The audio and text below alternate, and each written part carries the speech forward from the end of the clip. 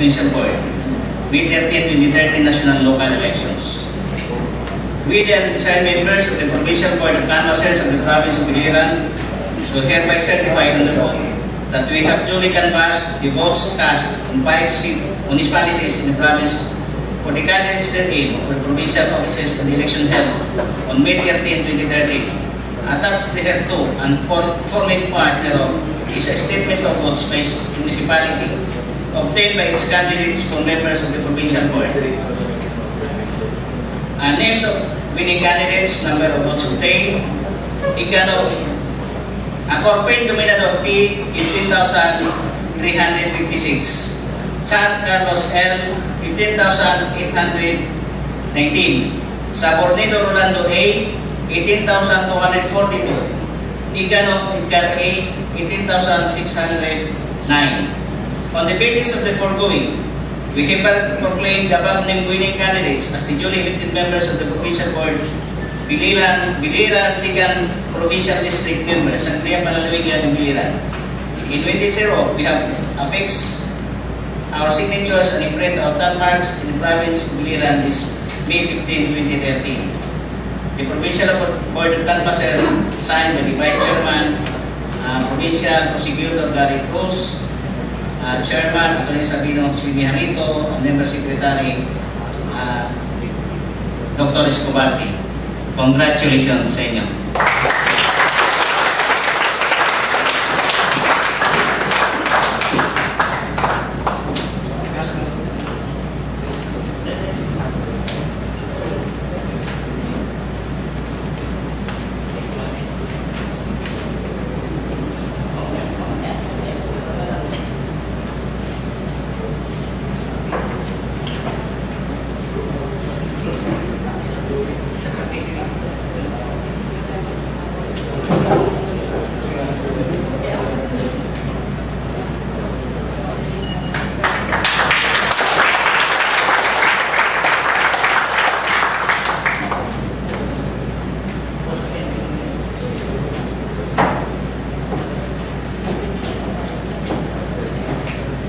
Bigyan niyo upuan muna yung ano. Wala bang upuan? Balik kayo. Sige, mamaya na lang para group picture. Para sa ah, First District.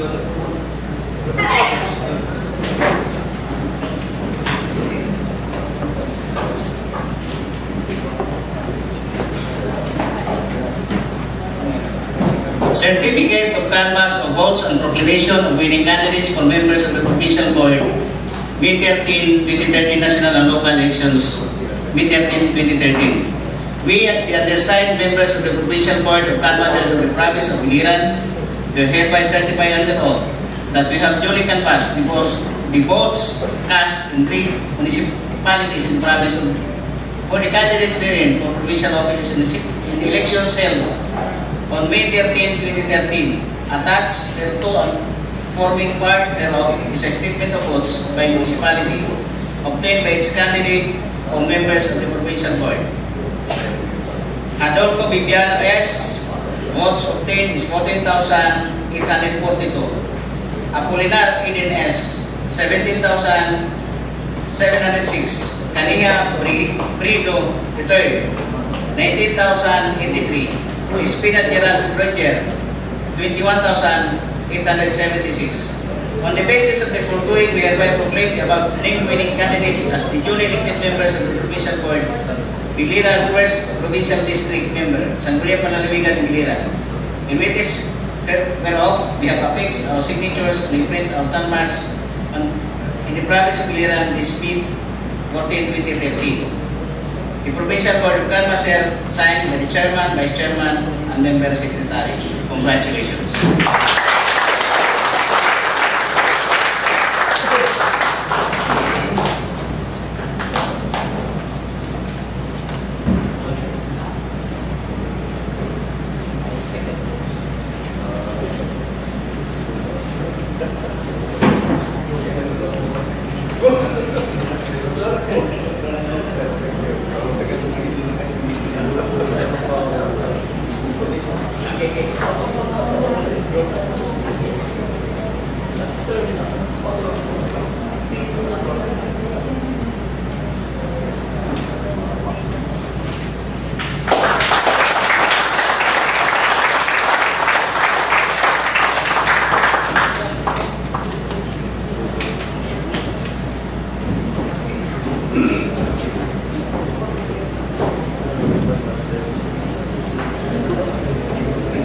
Call on our governor and vice governor,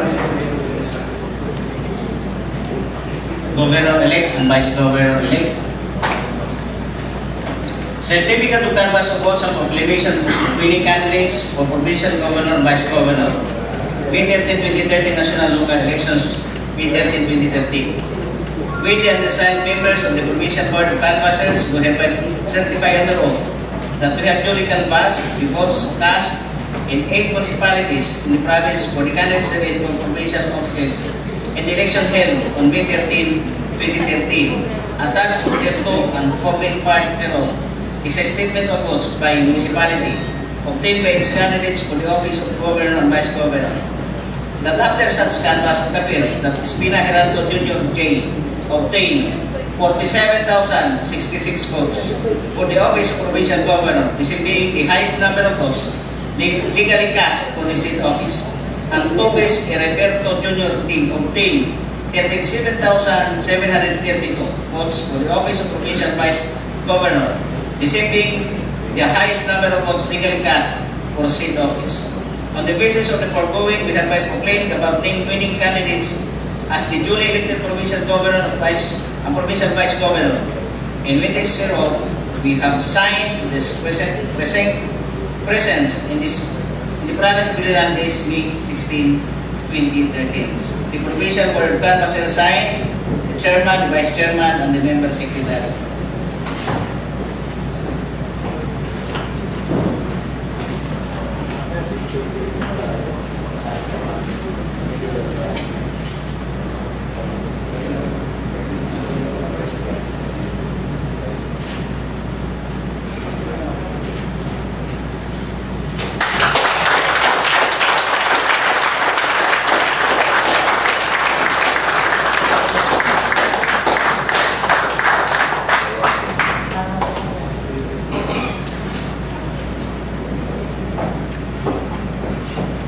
We may call on our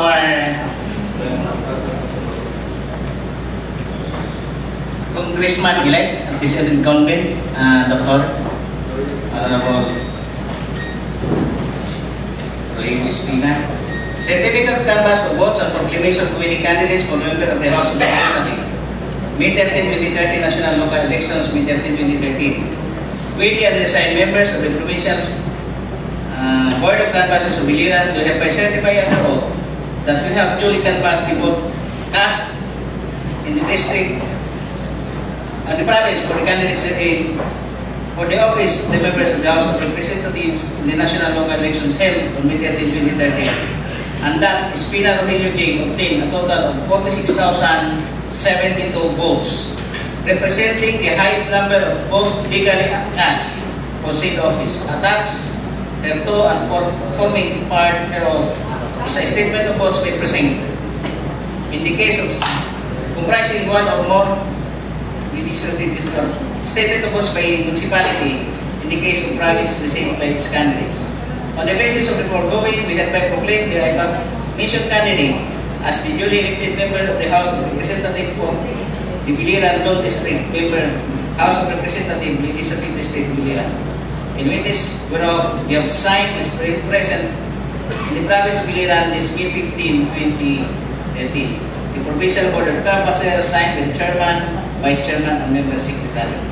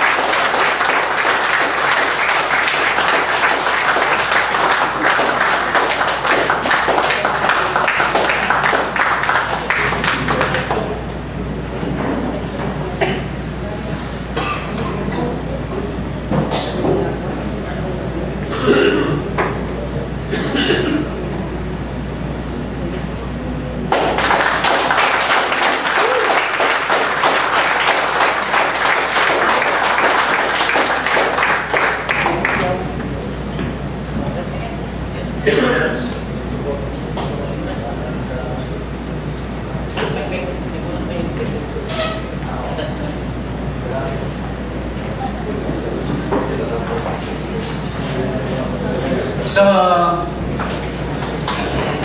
bago magkalimutan, hihingan natin ng maiksing mga mensahe yung ating mga nanalo. Unang-una sa ating congressman.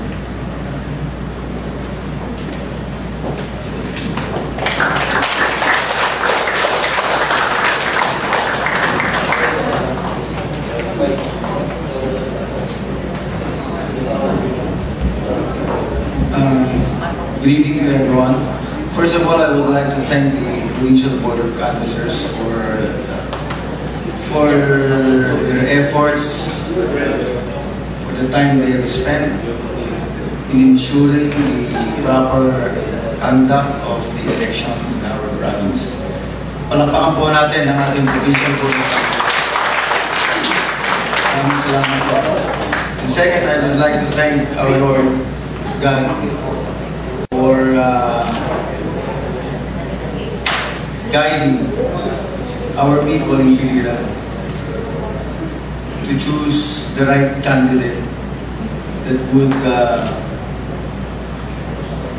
improve the lives of each and every family in our province. And uh, I would like also to thank our dear supporters more so my my family and, of course my wife for her untiring support uh, uh, in this endeavor. And uh, siguraduhin ko po na pangangalagaan ko ang tiwala na ibinigay niyo po sa akin na ating ating probinsya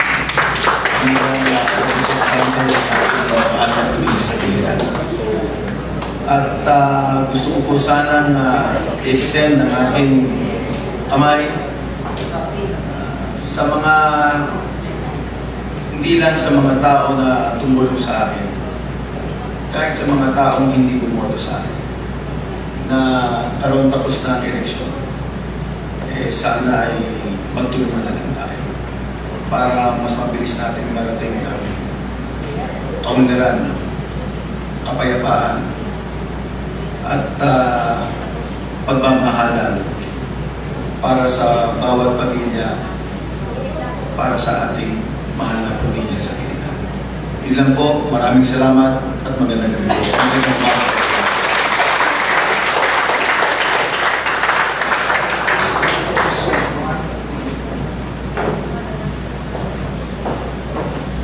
And now for his victory speech also, we call in Governor.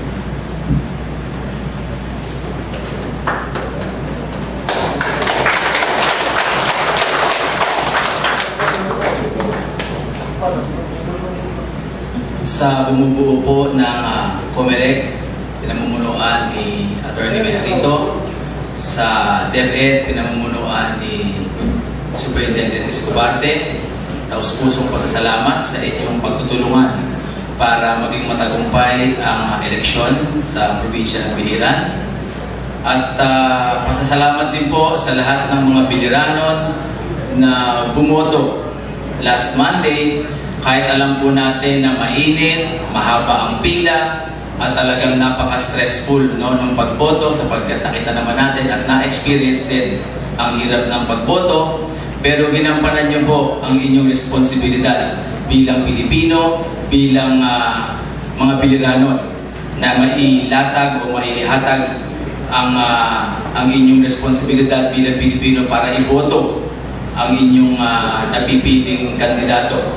At ngayon pong tapos na ang eleksyon, siguro dapat lang, kagaya ng nakaraang eleksyon, uh, kalimutan na ang kulay politika, kalimutan ang mga magan hindi magagandang experience ng nakaraang kampanya, at uh, let's move on para sa mas maganda, malinis, at maunlad na probinsya ng Biliran. So yun lang po, maraming maraming salamat.